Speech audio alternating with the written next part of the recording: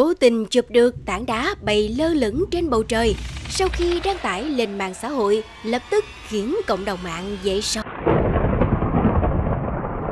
Vào ngày 19 tháng 7 vừa qua, trong khi đi leo núi, một gia đình người Trung Quốc đã vô tình chụp được bức hình một vật thể lạ đang bay lơ lửng trên bầu trời.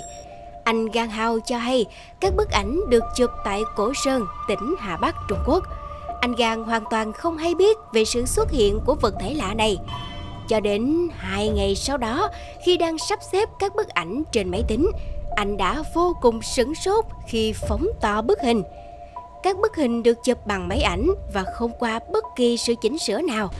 Cây và núi chiếm tới 2 phần 3 bức ảnh, bầu trời chỉ chiếm 1 phần 3 còn lại và vật thể bay xuất hiện có hình dáng của một tảng đá.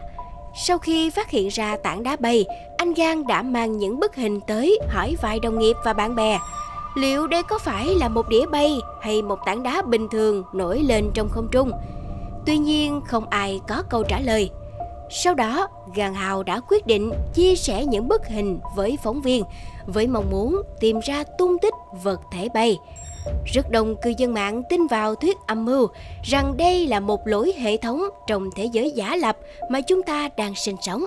Bởi vì những vật thể bay kỳ lạ này cũng từng được ghi nhận xuất hiện ở nhiều nơi khác trên thế giới mà con người chưa xác định được nguyên nhân. Mặc dù vậy, cho tới nay, phía nhà chức trách và giới khoa học Trung Quốc vẫn chưa đưa ra câu trả lời cho bức ảnh đá bay của anh Gang.